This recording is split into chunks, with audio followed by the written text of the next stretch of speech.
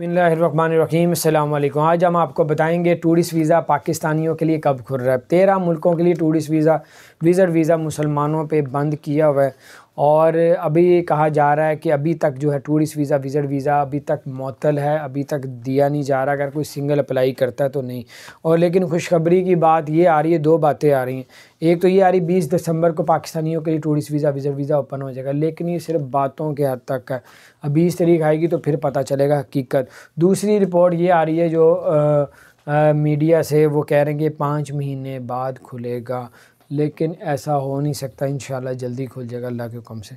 और अगर लड़की, दो लड़कियाँ, दो बहनें आपस में मिल के अप्लाई करती हैं टूरिस्ट वीज़ा विज़ट वीज़ा तो उसको मिल जाएगा। अगर दो मर्द अप्लाई करते हैं तो नहीं मिलेगा। सिंगल बंद, मर्द अप्लाई करता है तो टूरिस्ट वीज़ा विज़ट वीज़ा नहीं मिलेगा। हाँ अगर मर्द अपनी वाइफ के साथ अप्लाई करेगा तो टूरिस्ट वीज़ा मिल जाएगा। माँ के साथ करेगा तो टूरिस्ट वीज़ा मिल जाएगा। लेकिन दोनों को ट्रैवल करना भी पड़ेगा।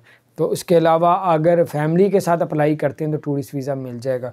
अगर सिंगल बंदा अप्लाई करेगा तो उसको टूरिस्ट वीज़ा नहीं मिलेगा। सिंगल और अप्लाई करेगी तो उसको भी नहीं मिलेगा। तो बहरहाल ये कुछ अपडेट थी अभी तक जो मेन मकसद था मेरी रिपोर्ट का कि आपको बताता चलो अभी टूरिस्ट वीज़ा मअतल अप्लाई ना कीजिएगा, अगर करेंगे तो आपकी फ़ीस ज़ाया जाएगी।